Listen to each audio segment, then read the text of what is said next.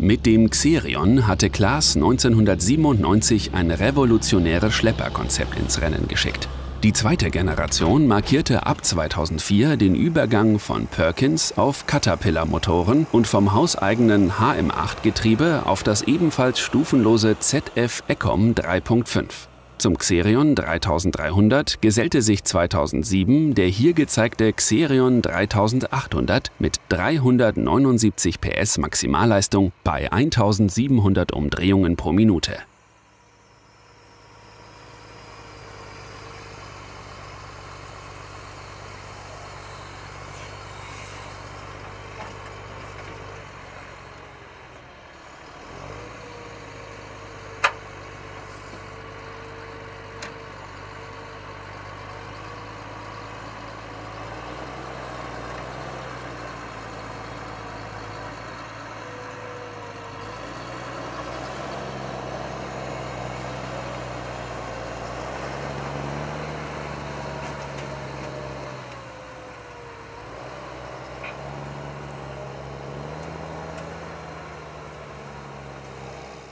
In der Basisausführung Truck war die Kabine fest in Fahrzeugmitte aufgebaut. Der Saddle Truck verfügte über eine Frontkabine und das Fahrerhaus des Truck VC ließ sich hydraulisch von der Mitte an den Bug versetzen.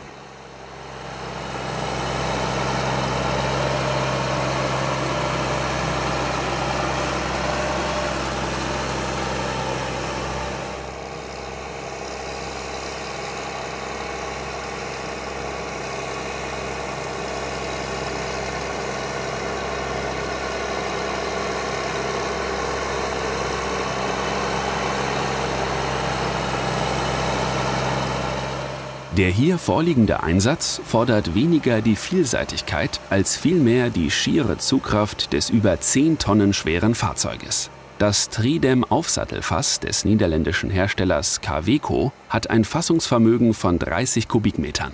Auch hier wird die Gülle per LKW zum Feldrand transportiert.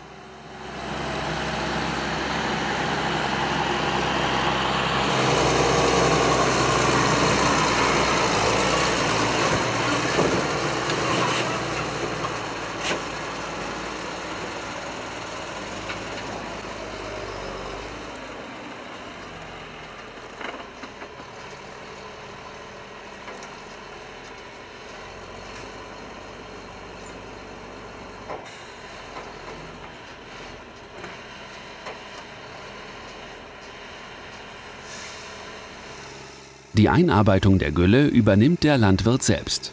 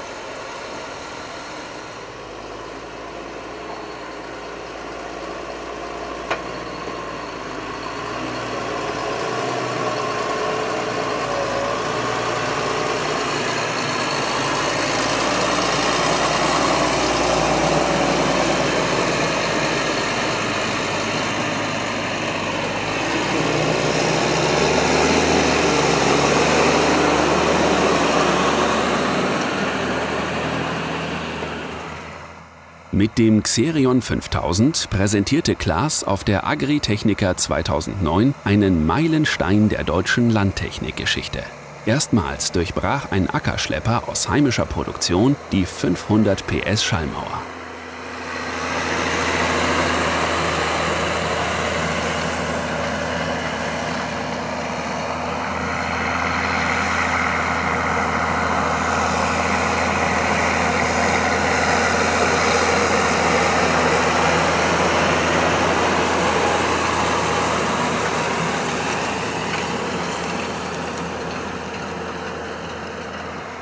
Mit maximal 524 PS, generiert aus einem 12,5 Liter großen Caterpillar Sechszylinder, stieß der Xerion 5000 den legendären Schlüter Profitruck 5000 TVL nach über 30 Jahren vom Thron des stärksten deutschen Schleppers aller Zeiten. Das stufenlose Getriebe entstammt wie beim eben gezeigten Xerion 3800 der Ecom-Familie von ZF. Seit 2014 wird das Class-Flaggschiff mit einem 530 PS starken Mercedes-Motor gebaut. Das Eigengewicht wird je nach Ausführung mit 13,4 bis 16,6 Tonnen beziffert.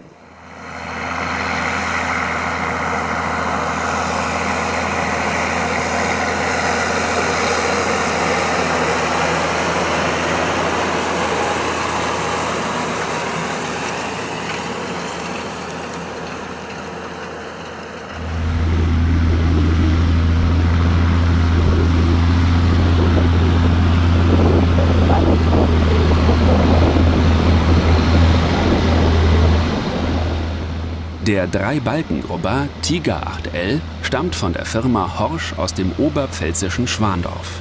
Mit 30 cm Strechabstand und 7,5 Metern Arbeitsbreite ist er sehr wohl in der Lage, die üppigen Kraftreserven des Xerion 5000 abzufordern.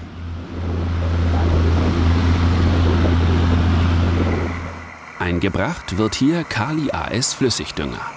Bisher arbeitete Firma Bollmer mit einem nachlaufenden Koffertank, der nun aufgesattelt mitgeführt wird